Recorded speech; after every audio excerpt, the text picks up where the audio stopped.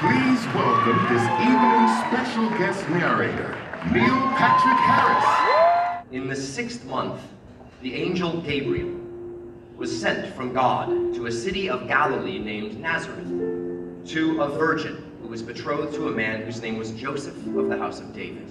And the virgin's name was Mary.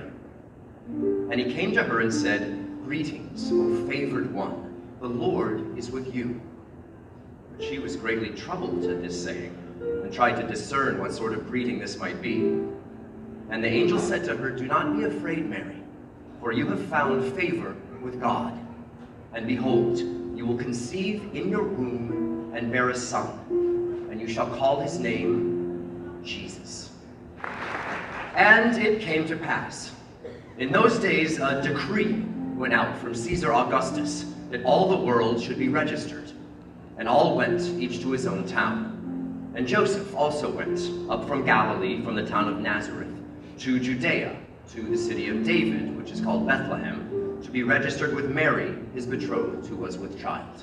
And while they were there, the time came for her to give birth. And she gave birth to her firstborn son, and wrapped him in swaddling clothes, and laid him in a manger, because there was no place for inn. And in the same region there were shepherds out in the field, keeping watch over their flock by night. And an angel of the Lord appeared to them, and the glory of the Lord shone around them, and they were filled with great fear. And the angel said to them, Fear not, for behold, I bring you good news of great joy that will be for all people. For unto you is born this day in the city of David a Savior, who is Christ the Lord. And suddenly there was with the angel a multitude of the heavenly host, praising God and saying, Glory to God in the highest, and on earth peace, goodwill towards all.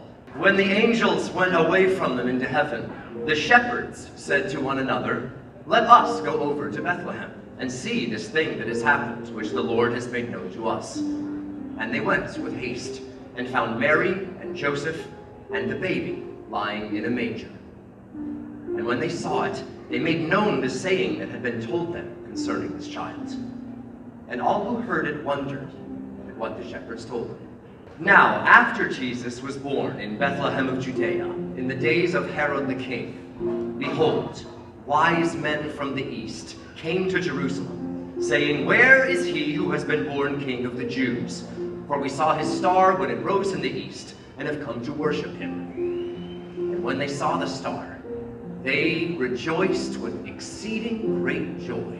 And behold, the star that they had seen went before them until it came to rest over the place where the child was.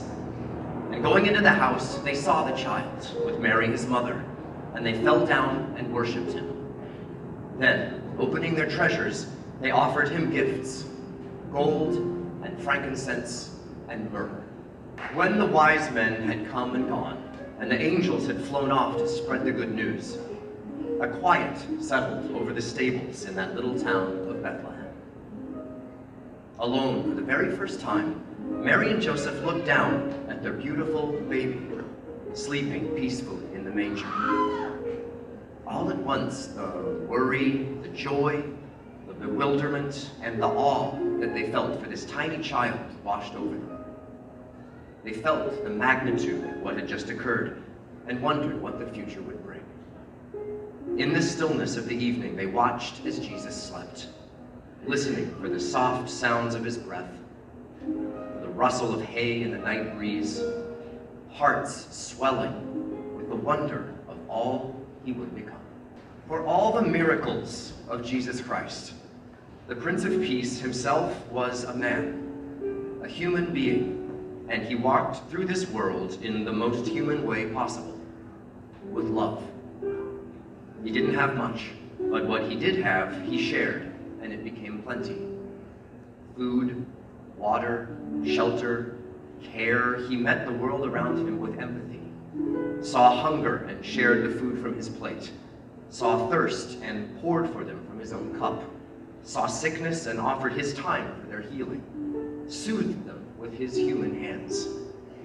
Jesus Christ found it in his earthly heart to give of himself to the people who loved him, and even to the people who betrayed him, to all people. That a baby in a manger could grow to become a man who taught a world of people what it means to love one another, that is the spirit of Christmas. And it lives inside each and every one of us. The greatest joy of being human is to love one another. And when we share that love, that is the greatest gift of all. Thank you so much. Enjoy the rest of your night at Walt Disney World. Take care. No cakes!